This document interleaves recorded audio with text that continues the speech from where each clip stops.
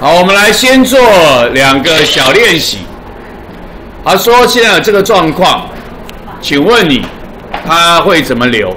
他问的是电流流向左流向右，不是问减流计偏向左偏向右。这两个答案正好相反，电流由左流向右，减流计会偏左。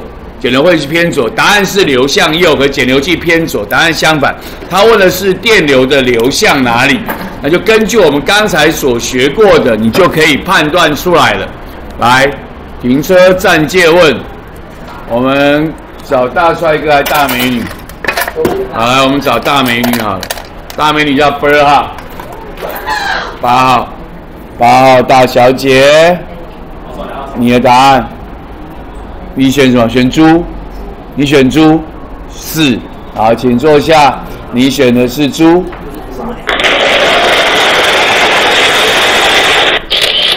你可以看得出来，对甲而言是 S 远离，所以右边要升 N；对乙而言是 N 靠近，所以左边要升 N。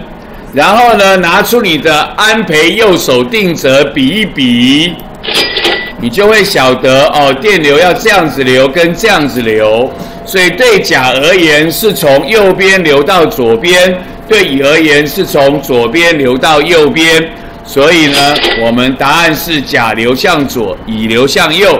如果是问减流计的话，如果说你是变成甲的减流计要偏右，向右偏转，乙的减流计要向左偏转。OK，所以我们答案就选 A，OK 吗？OK，停车站借问就刚刚讲过了。那看待顺时钟逆时钟，知道顺时钟逆时钟，知道是哪一级，知道是 N 靠近还是 N 远离，或者 S 靠近或者 S 远离啊，或者是你知道是 S 靠近或 S 远离，知道它应该顺时钟或者是逆时钟。就刚才讲过的，还会这样写字，就知道该怎么转那种。来，停车站借问，我们要找可爱大帅哥。来回答我们的问题，可爱大帅哥叫做三十一号。哇！小老师大人，你选 C，二 B，请坐。你选的叫做 B，请坐。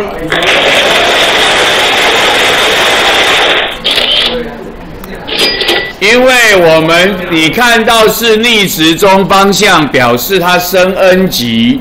N 级会排斥 N，会吸引 S。你是要往下插入，是要靠近，想来的不让他来，表示 N 是要赶走你的。N 会赶走哪一级？N 会赶走 N 级。所以呢，想来的不让他来，要走的不让他走。插入是要来，赶他走，要排斥同名级才会相似。所以你插入的是 N 级，所以答案就选的是 B。这就是很简单的。我们的冷式定律的运用跟想法啊，后面还有别的题目，那后面再说，OK 吗？OK。